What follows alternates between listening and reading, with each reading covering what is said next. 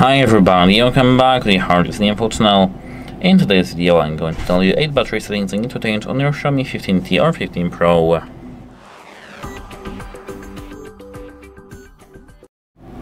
At first, go to the settings.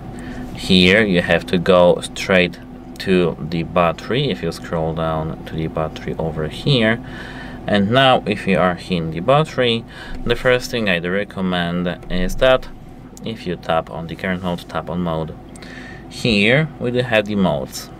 Uh, you can select it up to your own needs actually, but I do recommend to have it unbalanced.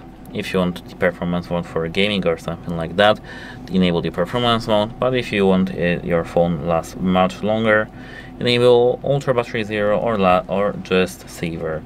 I do recommend having only the Saver or balanced. This is the first thing.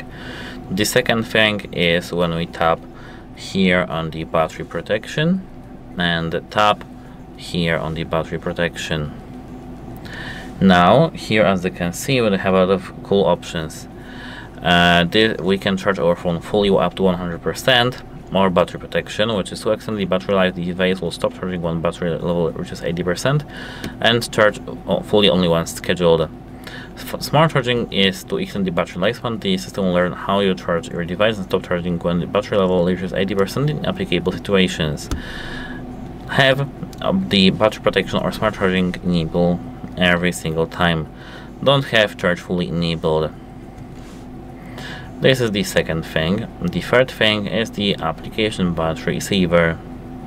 So, here we can tap on the additional features uh, pardon me, it was not the additional features, it was somewhere here or here. Here as you can see we have these applications and if we tap on the application we can tap the battery saver and enable the battery saver which is the recommended option here. Just leave it enabled. And the next thing that we can re recommend to enable is the auto brightness. Go back and go to the display brightness. Here, disable display brightness. It's maybe better for our eyes and better for the perf performance of us, but it's, it's worse for the battery. We are, pardon me, we are using the light sensor in our phone and it costs our battery very very much. This is the fourth thing. The fifth thing is the static or animated wallpapers. I don't really recommend to have the animated wallpapers, but if you want, still want to have them, at first go to the lock screen over here and disable other option. Here, tap on the wallpaper carousel, tap agree, have it enabled, and have this option as you can see all little papers in mobile data disabled.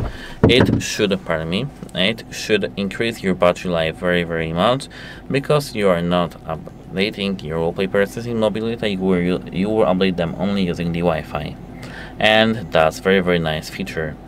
And the sixth thing is uh, the turn off mobile data when device is locked and clear cache when locked so we we can enable that when you go back here.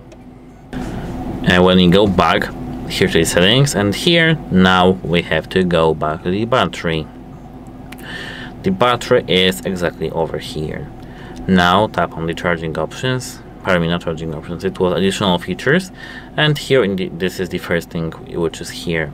Clear cache when device locked tap it and here I do recommend to have it enabled for example in 30 minutes. This should be the best for your battery.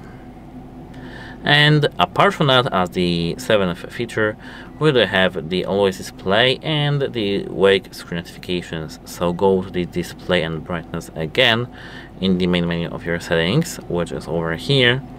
And now here scroll till you see here as you can see where was that here maybe?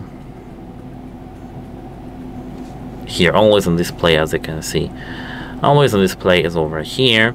And now we have to as you can see tap always on display. Let's have the always display disabled. Just have this this switch gray not blue. Now go back to the main menu of these settings and go straight to the notification status bar. Here as you can see we have a lot of options but it's not that very very important. We have to tap on the um, app notifications and here we can disable at first we have to optimize for more notifications you want. Then go back and tap on the notification style. You can here enable them or disable them. And now the most important one which is where was that? Um, here. Uh, not here here. As you can see we can manage the full notifications or badges. If we tap badges we can disable all badges. Here floating notifications and the same is with the lock screen. Here in the lock screen tap format and don't show lock screen notifications and apart from that keep software updated and avoid excess heat and charging practices. And that's it. Hope it helps you and goodbye